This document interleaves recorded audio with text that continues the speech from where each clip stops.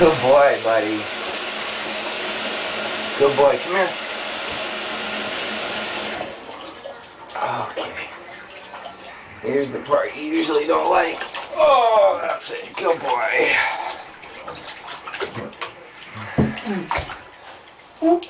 So, guys, normally you're used to the ice bath vlog, but we just got back from training in Las Vegas, and uh, needless to say, I was coaching all the Legends MMA fighters up there, so I didn't do that much training that I need an ice bath today. But I did let stinky little Mojo go running around and play in the dirt. And so this guy needed a bath. He doesn't really like the ice baths. So instead of the ice bath blog and change, for change, today we have the Rottweiler bath blog. This is Mojo. Say hi, Mojo. Hi. We um, showed up to uh, to the Orleans Hotel in Las Vegas with a bunch of guys overweight, but that's where we wanted to be. Most of them, most of our guys cut five pounds a day of the fight, or excuse me, the day of the weigh-in. Um, all of them seem to uh, do their cut pretty well, handle it well. Some stronger than others. Um, Chris Brady, always a team leader, was was really pushing, you know, everybody during the weight cut, showing a positive attitude and letting everybody know that it was going to be fine. He was cutting as much weight as anybody, just about anybody. Um, but uh, so we all made weight. We all showed up ready to bang. And uh, you know, in the fight game, you win some, you lose some. And uh, of the of the guys from Legends who I've been training with, we brought five guys down there. We had three losses, one tie, and one amazing 14-second knockout by Alan Jouban. Um, as far as the losses went, uh, Tommy Gavin came in and uh, was looking dominant on his feet with, with striking, but you know he's a wrestler and that's what he knows and that's what he reverts back to and started shooting. Uh, got himself caught in two pretty deep guillotines that he managed to fight out of, but I think they sapped his strength a little bit. Finally, his opponent shot in, got the takedown, worked strike from strikes from mount, and got the TKO.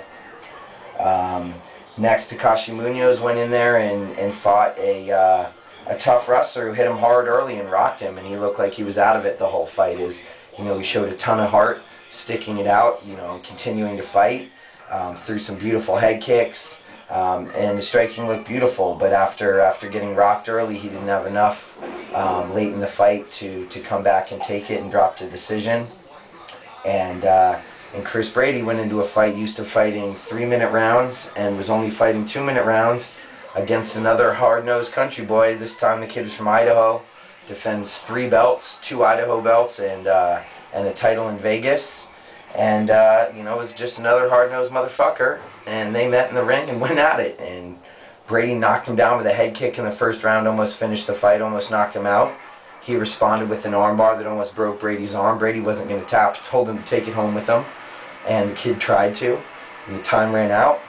And uh, that was a round that, you know, could have gone either way. I haven't, I haven't rewatched the fights, but, you know, another, another close brawl and another... Uh, another you know tough defeat um, for Chris.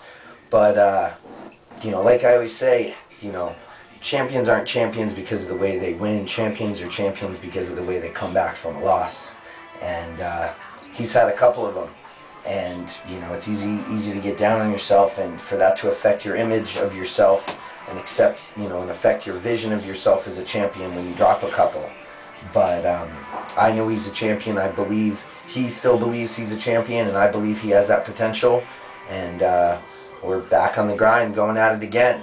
Next, we had Alan Jouban making his MMA debut, and boy, a hell of a debut it was. Opened up with a hard inside leg kick that changed the uh, opponent's whole perspective on the fight. You could see the wind go out of his sails with that one kick, and he asked himself what the hell he got himself into. Alan followed up with two quick strikes Kid was on his knees begging for mercy, and the ref gave it to him by calling Alan off for 14 seconds, really igniting the crowd.